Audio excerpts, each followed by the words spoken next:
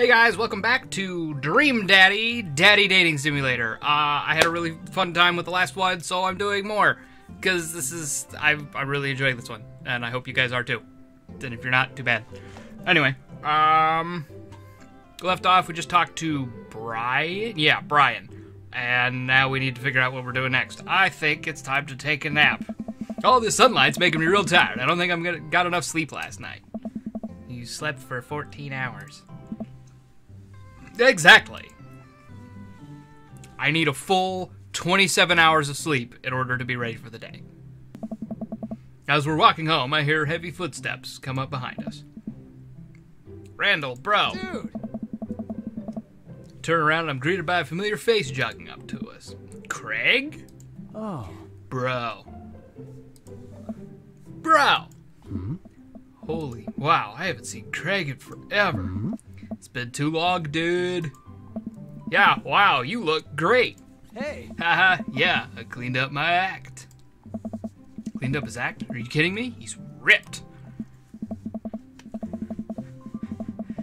Amanda, this is my friend Craig. We went to college together. We were roommates for a while, too. If you know what that means. Amanda, dude, you probably don't even remember me, but you're so big now. Hello, and hello, cute baby. Hmm. Oh, thank you. The last time I saw you, I think you were about her size. This is River. Say hi, River. He picks up her tiny wrist and waves it around. River gurgles happily. Are you babysitting? oh, Nah, dude. River's my kid.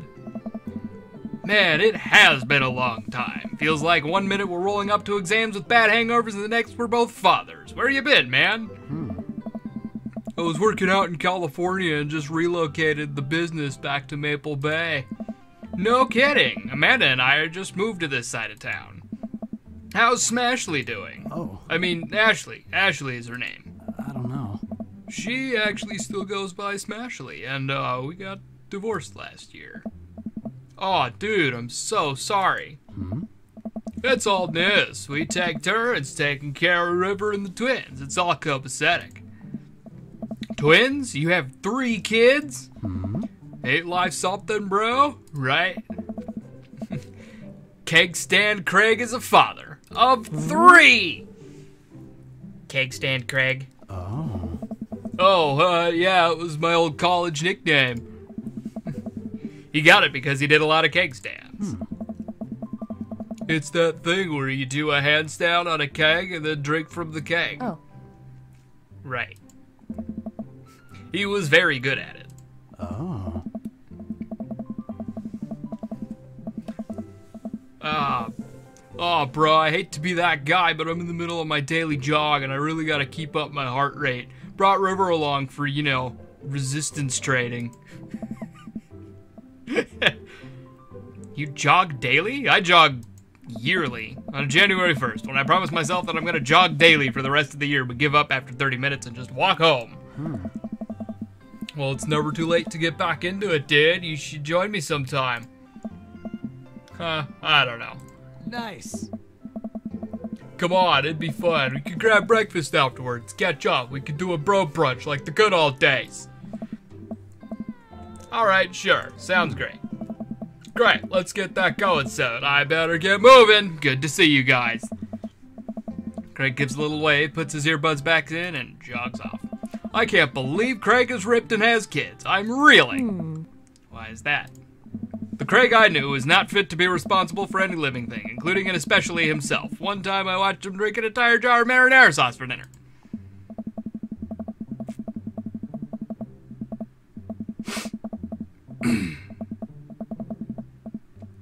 I'm not saying I did that, but I'm not saying that I didn't do it.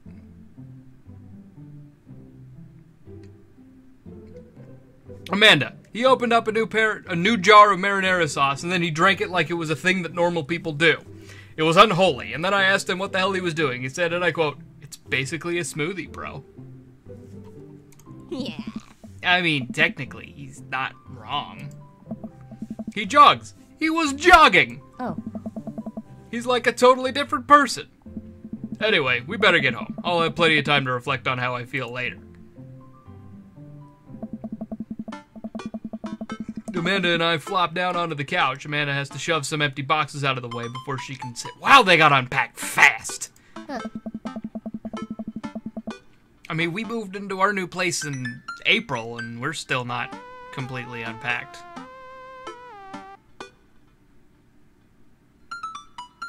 Too bad we're gonna be putting my stuff right back into these boxes in a few months.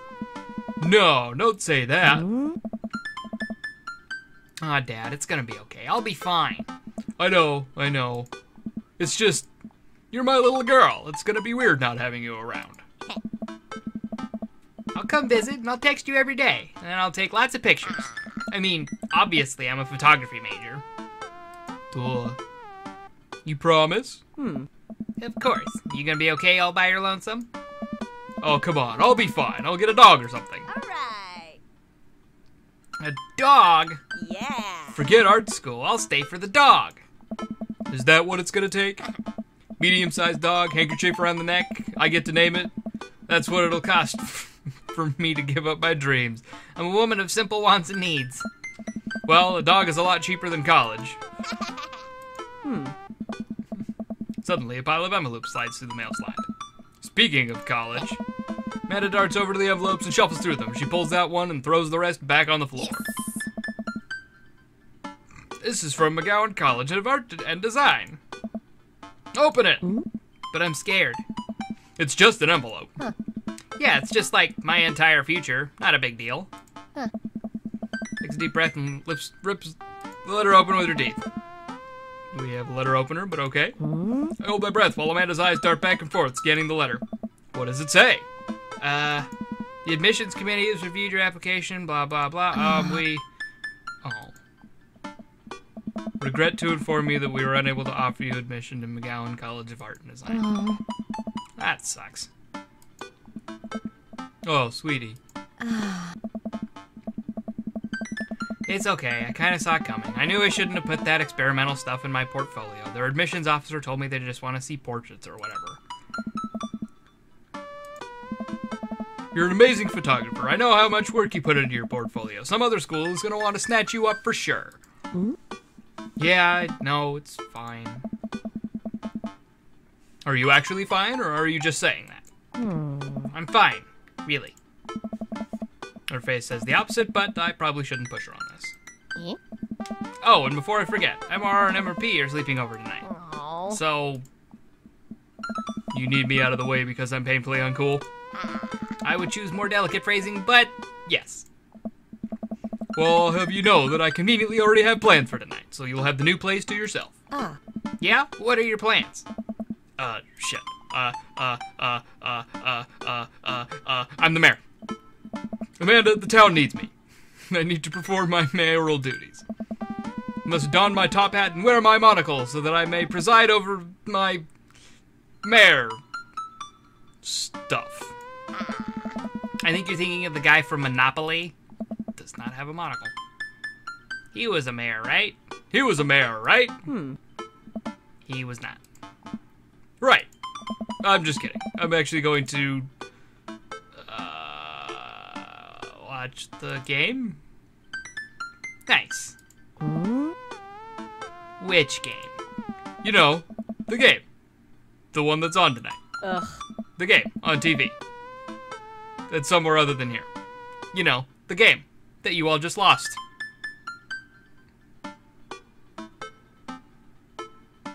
Ah. Okay, cool. While you do that, I'm gonna do drugs and commit some light arson with the Emmas. I'm concerned you're hanging with the wrong crowd. Amanda shrugs.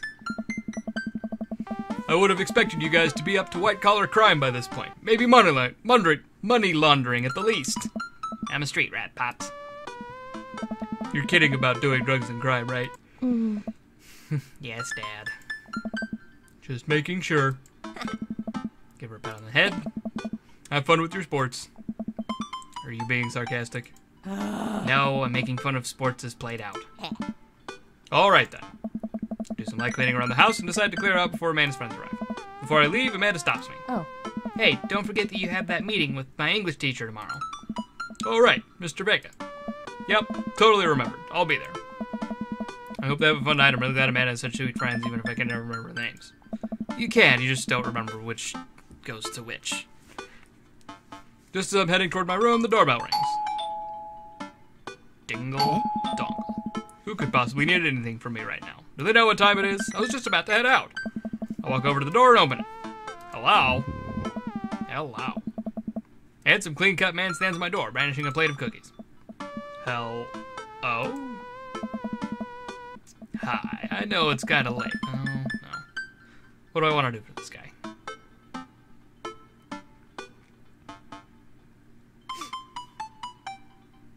Hmm. Try to. I'm trying to think of a voice voice for this guy. He looks like he's a smooth talker. Hi, I know it's kinda late, but I baked way too many cookies, and I just can't have these in the house or I'll eat them all. Yes, he sans. Or papyrus. Papyrus. Hi, I know it's kinda late, but I bet. Oh, shit. Oh, motherfucker.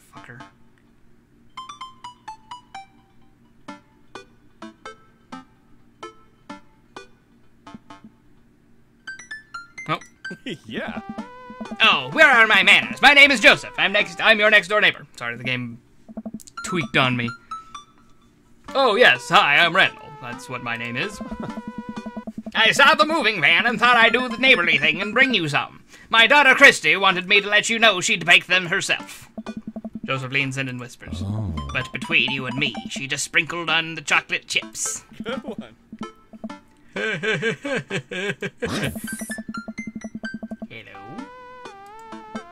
Wow, cookies, huh? So nice to meet you. Just has plates of cookies with a smile. Huh. Well, thanks for the cookies. More McDonald. Hmm. Amanda Copa. She's gone. That's my daughter. Her name is Amanda. She's a charmer. Hmm. Daughters are tough. Sons are also tough. Oh. Children in general are just tough. I hear that. I mean, there'd have to be something wrong with you to try and raise more than two. Have four kids. What have you done? Oh, uh, I, I meant. oh. Don't worry, you didn't mean to be rude. Oh no, this is the first neighbor I've met. My social life is already in a tailspin. I wonder if it's too late to move again. Uh, yeah, okay. Oh. Is the missus around? Mister, actually, and, uh. No, not anymore. He died. Uh, I'm sorry for your loss. No, no, it's all right. No, no, it's all right. Wow, this is uncomfortable. We stand there, there quietly for a moment, acutely aware of how awkward we both made things. oh. I'm sorry. Can you close the door real quick? I look at Joseph quizzically but comply. After a second, I hear a knock on the door, opening, and I see Joseph standing there with a huge smile. Hi, I'm your new neighbor, Joseph. I promise not to talk about your dead spouse this time. I'm throwing a barbecue for the cul-de-sac, and I'd love for you to come by and meet the rest of the neighbors in our community. What do you say, pal? that sounds great. My daughter Amanda and I would love to stop by. Also, four kids is a perfectly normal amount of children to have. We shake hands and seal the deal. Hey. Well, neighbor, I'll let you get to bed. See you at 3 p.m. on Saturday. Sure thing, neighbor. Joseph starts walking away, but stops to think for a second and turns around. Ooh, Hey, in all seriousness, raising a kid on your own can't be easy. If you ever need to talk about stuff, I'm the youth minister at church down the street. Oh, I don't know. I I wouldn't really consider myself a youth. nice. You look pretty young to me, but suit yourself. It's the baby face. Gosh. Aw, shucks. He seemed nice. Amanda walks back into the living room, crumbs on her face, cookie in hand. That was some of the smoothest recover I've ever seen. I should take notes. Yeah. See, you're already fitting in great. Where'd those cookies go? Uh, They're gone. I'm sorry. Yeah. If it makes you feel any better, they weren't very good. So you ate all of them anyway? The M is out. Right. Well, kiddo, I'm gonna go catch the cave. Have fun, Dad. Liquor before beef, you're in the clear. What? Wow, I guess I didn't really think this plan through. I'm not entirely sure where the closest bar is, and Amanda still hasn't shown me how to use the GPS on my phone. So I'm just gonna pick a direction and walk in it. Let's go. This way. Cool, okay, we're marching. We're marching in the direction of the game. Any game, really? In the distance. Could it be?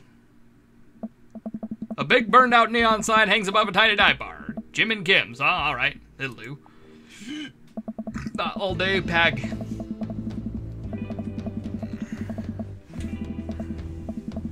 The bar is small and dimly lit. The crack of pool balls sounds sounds in the back as persons patrons laugh and joke. A string of multicolored Christmas lights over the bar hover above the bartender. I can't tell if he's Jim or Kim. I pull up a seat at the bar. What'll it be? One beer, please. Sure thing, boss. Bartender slides me an ice cold beer. I take a sip and enjoy the refreshing taste. Say, are you Jim or Kim? I'm Neil. Oh. I awkwardly turn my attention to the game, which is playing on one of the TVs on the wall. As luck would have it, my team of preference is not only playing, but is currently in the lead, which is always a good thing. The brightly colored mascot, which is some kind of animal, does cartwheels. I silently cheer on my favorite team, hoping that I don't get into any confrontational arguments with a fan of the opposing team. Several people in this bar are wearing the distinctive colors of the team I dislike, although I believe from their demeanor that, like me, the passion for their team is all in good fun. Hey. A middle-aged woman holding a nearly empty wine glass sidles up to the bar and sits uncomfortably close to me. Hey, Sailor. Oh, hello. Ah. Good to see fresh meat in here. I'm Mary. Come here often? Ow, that hurts. Oh no, I actually just moved to this part of town today. I'm Randall, by the way. Hey. Are you watching the game? Yeah, my preferred team is in the lead. If they keep this up, they'll win the game with ease. Oh. Oh, I love that team. Also, I love that game. I love someone who knows their way around balls. I'm getting the impression that she's a little drunk. Uh, Buy a gal a drink. uh, fuck it, why not? I'm almost reluctantly sick. I almost reluctantly signal the bartender in order to Mary another glass of wine. Neil jokes back and, back and forth with Mary. They're clearly friends, and this clearly isn't her first time doing this. She tips her glass at me. I suppose I gotta keep you company now. Hey. So, what do you want to do? Uh, what's the scoop? You came to the right broad. I'm an observer. I watch people. I see everything. I know everyone. Nothing gets past me. So, Give it a rest. So what? I thought you were gonna. I forgot what we were talking about. About the gossip? You said nothing gets past you. Oh, right. I'm also a steel trap. Confidential to a phone. So, what else can you tell me about this part of town? Hmm. It's quiet, that's for sure. If you want an idyllic little life with a white picket fences, this is the place to do it. But every town has its secrets, you know. She takes a sip of her drink. That was a little too ominous for my taste. She leans closer. Hey. Would you like to learn some of my secrets? Oh boy. Uh, maybe some other time. Give it a rest. Suit yourself, sailor. Mary saunters off, seeing her, setting her sights on the newest bar patron to enter. Thank God. Blah. I happily watch the game over another beer. The game has gotten close in terms of points, a little too close than what I'm comfortable with. After a particularly skilled player scores a number of points for the other team, putting them in the lead, I hear an affirmative grunt from another man at the bar. Go team. It's the birding man from the coffee shop, from the coffee spoon. He sits alone, sipping whiskey and watching the game as well. Enjoying the game? I am now that we're winning. Oh, we must be rooting for different teams. In my opinion, my team is far superior. I have to disagree with that based upon our win loss record. I'd say that my team is superior. That's where you're wrong, since as it stands right now, my team is beating yours. The conversation ends there, and we both look back silently, rooting for our respective teams. The game is close, with both sides playing their hardest to win, but in the end, my team prevails. Quiet cheers ripple through the bar. I raise a respectful glass at the man drinking whiskey. He raises his in response. An unspoken truce is formed between us on a mutual love of the game. He motions to the bartender, who pours two glasses of whiskey. The man slides over to slides one over to me. The name's Robert. Thanks. I'm Randall. You must be you must be new here. Mary already hit on you? Yeah. Robert chuckles. She's a peach. Well, you picked the best bar in town. As slimy as it is, you'll never find a better spot than Jim and Kim's. Is there actually a Jim and Kim or that run this place? I. No, that'd be Neil. Neil waves from a, Neil waves from across the bar. Hey. Good guy, Neil. Not enough Neils in this world. Okay. Hmm. You a whiskey fellow or a beer fellow? Beer, but I'll drink most things. You like shots? I love shots. Thank God. Robert nods to Neil, who serves up two shots of whiskey. He hands one to me. Here's to your health. We take the shots. The whiskey burn's going down, but I try my hardest to look tough. Wait, I think this is what making friends is. Okay, Randall, this guy's out of my friends league, friend league, but I think if I play my cards right, we'll be pals in no time. Uh, a cool leather jacket. I like your jacket. Thanks. Been in my family for a long time. Passed down from firstborn to firstborn. Cursed, some would say. Man, this guy is mysterious and cool. Way cooler than I am, at least. Robert signals to the bartender for another round. Excuse me. What are you doing here tonight? Uh, daughter kicked me out of the house. Not like forever, she's just having a sleepover with her friends. Family type, huh? Single dad. Hmm. He gets up. Be right back. Got a powder in my nose. He's going pee. Never seen Robert this talkative. He must like you. Huh, I guess so. Gotta admit that Robert has gruff charm to him. If a guy like that thinks I'm cool, then I really must be. Robert comes back from the bathroom and grabs his leather jacket. I'm gonna go home. You heading my way? Ooh. Robert and I leave the bar to find ourselves walking in the same direction. Sup? I live in this cul-de-sac down the way. I live in this cul-de-sac down the way. Does everybody live there? Me too. We just finished unpacking oh. today. Great place to be. Good neighbors. Well, some of them. Who's that? We get to Robert's house, which is just a few houses away from mine. We stop and he returns to me. I don't kiss and tell, Randall. So are we doing this or what? Oh. What? I. You know, you want to come inside or not? A wave of real- realization rushes over me. I blush. Uh, lay it on smooth. Well, I don't see why not. That sounded smoother in my head. Let's do it. I follow up to I follow him up to his door. He fumbles with the keys for a second and unlocks the door, leading me inside. The moment the door closes behind us, he pushes me up against the wall and kisses me, grabbing my hips. Come on. Robert takes my hand and leads me up the stairs into what I assume is his bedroom. It's so dark that I can't see anything but Robert's intense expression. He kisses me again, and I hear him shucking off his jacket. I clumsy take off mine too. His hands roam down my chest, and I suddenly he's tugging at my belt. I, I, uh, I don't normally do this. Do you want to stop? No. No. Good. Robert continues to unbuckle my belt and guides me to the bed. Let's have some fun. Okay. It's like, do I need to censor this? Sunlight streams in the between the slats of the blinds. My head is pounding. I usually I really overdid it last night. Wait a minute. This isn't my old house or my new house. Oh right. I look around for Robert, but find myself alone. Hello?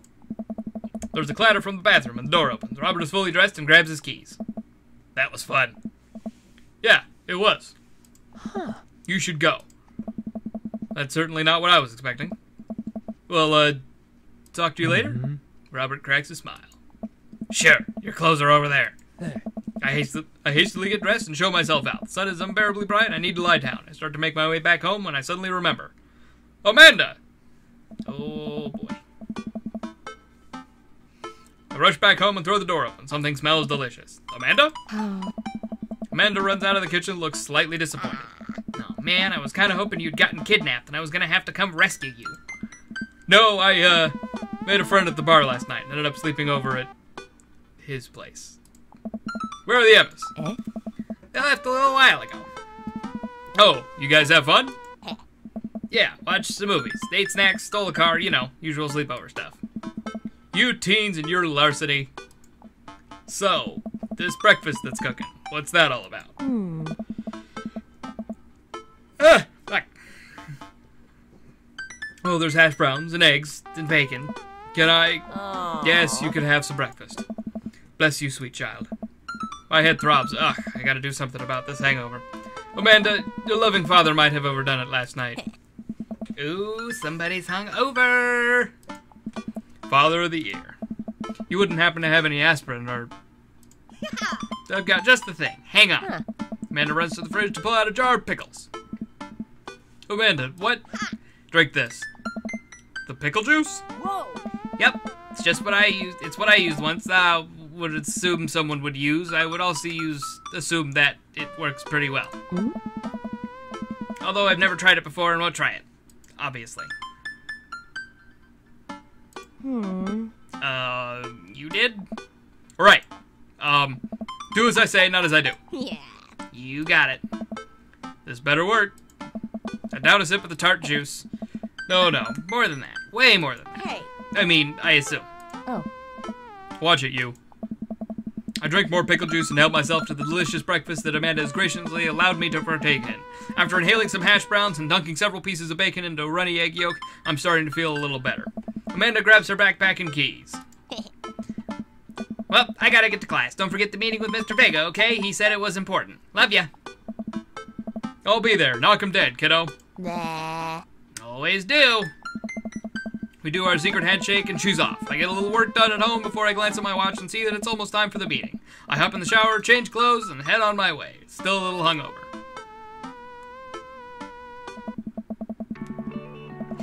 I'm gonna call this a stopping point.